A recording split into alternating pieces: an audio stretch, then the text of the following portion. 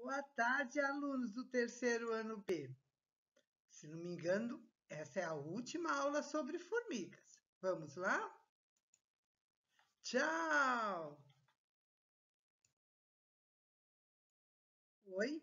A questão que eu dei para vocês fazerem a semana passada foi a formiga e o meio ambiente. O que é meio ambiente? Meio ambiente não, é só, não são só as florestas, os rios, o oceano, não. Meio ambiente é o lugar em que vivemos também, a nossa rua, a nossa cidade, a nossa casa. Vamos lá ver como é que a formiga se comporta e ajuda o meio ambiente. As formigas estão em quase todos os lugares não é verdade? São mantenedoras e defensoras da natureza. Você acreditava nisso? Vamos lá ver. Conhecidas por qualquer pessoa, esses insetos formam imensas sociedades no solo. Você viu o tamanho do formigueiro daquele outro vídeo? Árvores e também em nossas residências. No entanto, a fama da formiga não é muito boa, não. Elas são consideradas pragas, tanto lá no meio, no ambiente rural, quanto no doméstico. Elas atacam sem dó as plantações e deixa alimento em cima da mesa. Aparece formiga logo logo. Porém, as formigas são vitais, são muito importantes para o equilíbrio da natureza.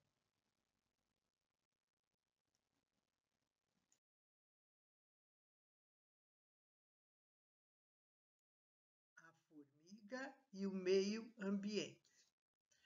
Várias das informações desta aula eu fui lá na Agenda Edu e olhei as pesquisas de vocês e usei as informações que vocês me deram. Quem fez vai reconhecer. Vamos lá? As formigas têm funções muito importantes para o meio ambiente. Sem as formigas no planeta, grande parte da biodiversidade estaria perdida. Vamos ver alguns benefícios que elas nos, nos trazem. Diferente das abelhas, as formigas não voam, só quando vai acasalar. Mas são grandes polinizadoras. Transportam os grãos de pólen das plantas, permitindo a fecundação e consequente reprodução. Onde que elas carregam os, o pólen? Nas pernas. Tem outra coisa. Ao comer animais mortos, elas comem, viu? As formigas colaboram para o fluxo de material orgânico no solo, que se espalham pelos túneis subterrâneos hum, do formigueiro. A formiga e o meio, ambiente. Quando as formigas roubam hum, a comida dos humanos, nossa, né? E levam para o formigueiro. Elas levam matéria orgânica para o solo. Essa matéria orgânica se decompõe e fornece os nutrientes que os vegetais precisam para se desenvolverem. Feitas pelas formigas, a dispersão de sementes que caem das plantas no solo, leva as plantas a se estenderem pela natureza, espalha, semente vai brotar, o que é essencial para algumas espécies de plantas. Você sabe que tem algumas plantas que elas têm um líquido que atrai formiga. Por quê?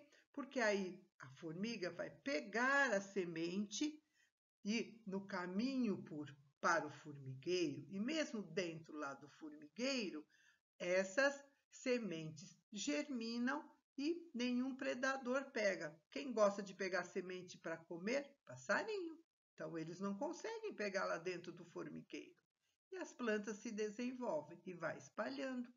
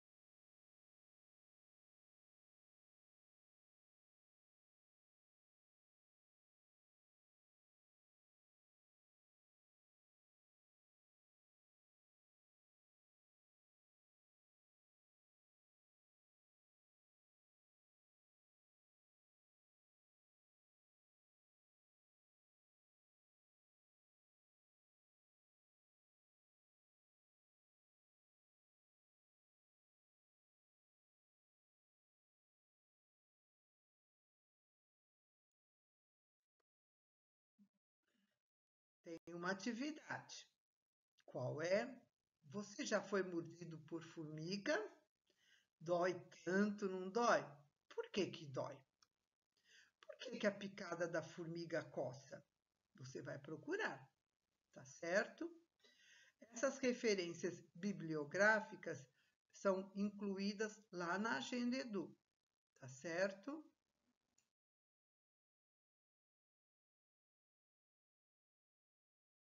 Próxima aula, começaremos a falar dos cupins. Então, até a semana que vem. Passem muito bem. Um beijo para vocês.